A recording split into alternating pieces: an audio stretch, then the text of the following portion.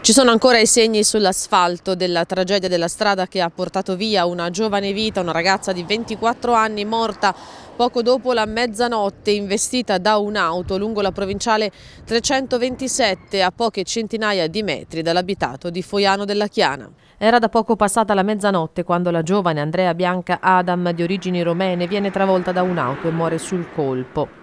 Ancora residente nel suo paese di origine, la giovane pare stesse lavorando in questo locale notturno che si trova a pochi metri dal luogo della tragedia. Forse stava attraversando la strada per andare a prendere le sigarette in un bar tabacchi che si trova dall'altro lato. Il conducente dell'auto si è subito fermato ed ha allertato i soccorsi.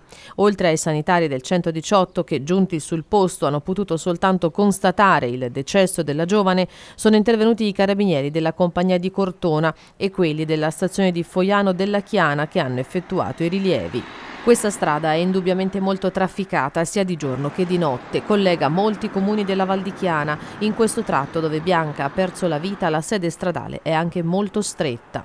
La salma è stata trasportata all'obitorio del San Donato di Arezzo a disposizione dell'autorità giudiziaria.